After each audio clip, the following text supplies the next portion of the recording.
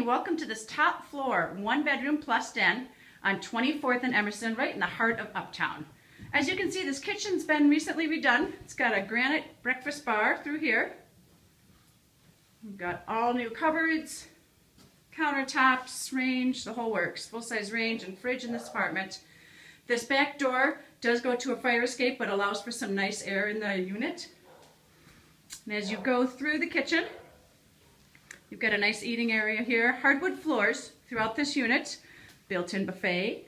Nice ceiling fan above me here.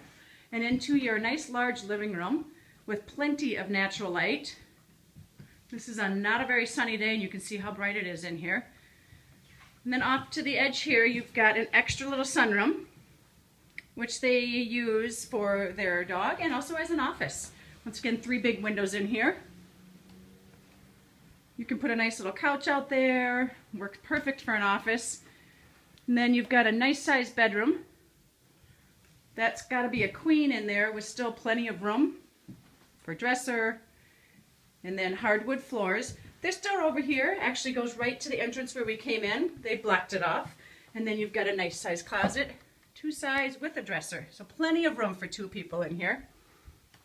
I'll take you back around to the bathroom. So this place is about a block off of Hennepin, couple blocks to Lake of the Isles. Really great part of Uptown.